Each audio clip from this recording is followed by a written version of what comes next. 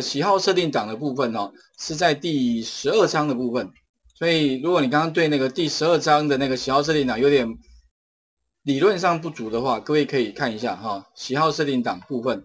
那里面的话包含就是说，我前面有讲过那个 File Export 的操作方法，还有就是 Share Preference 的这个资料处理啊，怎么样将使用档案储存资料，还有档案的储呃这个这个档案的资料储存位置等等哈，相关的说明这边都有。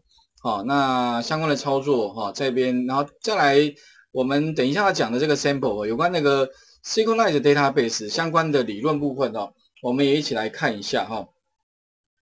那首先的话呢，这边 呃可以看到就是 Enjoy 里面哦，使用 SQLite 来当成的一个管理资料库。那主要因为 SQLite 是一个所谓的非常微小微型的一个呃一个 database 哈。那所以它把很多很多大型资料库里面会有的功能都拿掉，包含当然有些东西啊，比如说我刚刚讲那个安全性也拿掉了。啊，那主要用意当然因为它是放在手机上面，不能太庞大哈。如果太庞大的话，它也乱不起来。那里面的话呢，包含就是说哈，我们怎么样去查资料？查资料你可以用 row query 跟 query 两种方式去做查询。那也可以利用 insert、update、delete 去做新增、修改、删除好的相关动作。那其实资料库主要就是会有这些重要的方法。那我们怎么样哈去处理这些动作？我们来一起来看一下。那里面比较重要像是第一个哈，我们要怎么样建立建立哦？原来没有对不对？我要怎么样把它建立起来？里面的话呢，就需要用到一个类别，这个类别叫做 SQLite Database 啊，其实就是这个类别名称。后面给一个物件名称啊，那用一个方这个方法叫做 Open or Create Database。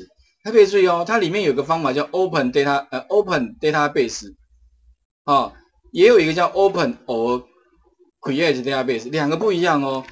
那有些地方哦，我们如果没有 or Create Database 的话，就会发生错误。为什么？如果说 Open 是说本来就存在，啊，如果本来不存在，那就 or Create Database 这个方法就 OK。可是如果你只有单纯 Open 的话，啊，它没有啊，那就完蛋了。OK，所以这边要特别注意哈。后面再来就是给一个什么一个档名，哦，这个跟那个前面那个喜好设定档很类似，要给一个档名。然后呢，这个权限，那权限域有三种零、一、二。那刚刚有同学问哈，其实零的话就是呃 private，private 指的是我们这个 class 可以存取。那第二个是。呃，readable，readable 是别的类别，哈，可以读，但是不能写。那第三个就是二了，哈，零一二嘛，哈，就是 writable，writable 是别的类别也可以写入了。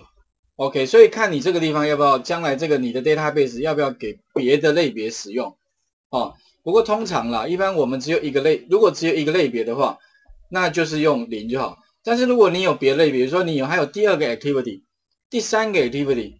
第四个 activity，哎，那你这个时候就要考虑到别的，比如说你切到别的页面，那其实其他页面你这边写零的话，完蛋了。别的页面要怎样存取的时候啊，完蛋了，因为你用 list view 可能会需要有第二个页面，那这个时候你就要考虑到你的权限是不是要打开，OK 哈，然后后面的话加一个 null，null 通常里面好像一个，我印象中好像是一个什么。Database 什么 factory 之类的吧，哈，那是预设大概就是给 null 这个值哈，然后其他的话，这个是相关的 open 部分。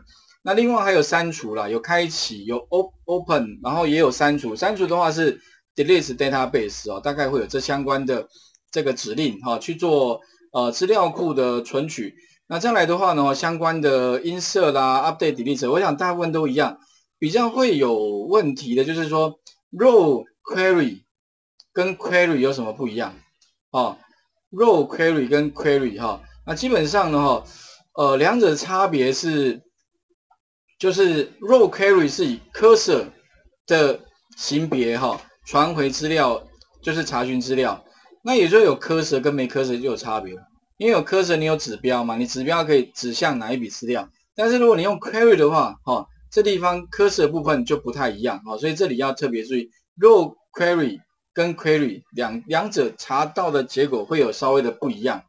那再来的话，就是说 SQL SQL 这个也常用，就是说你要执行 SQL 语言的话，要传递相关的那个 SQL 的字串给 database 去帮你做什么事情的话，那就用 execute SQL 的相关指令，啊，insert、delete、update，这个后面我们都会用到哈，这个是重要的相关指令。那其他的话，像怎么样？第一个先组出一个字串，所以通常哈，我们会在上面先宣告一个 string，这个 string 的话呢哈。就是一个 SQL 语言，比如说像我要 create 一个 table，对不对？本来没有有 database，那它的结构一定是一个 database，里面会放 table，table 里面会有 field，就是栏位，看有一栏、两栏、三，它一定结构是三阶的嘛？资料库、资料表、栏位哦，你观念一定要很清楚哈。然后呢，我们有个 database，对不对？里面要建 table table 你可以很多个 table，那比如说 create table，table 名称叫 table 一，那要给什么样栏位？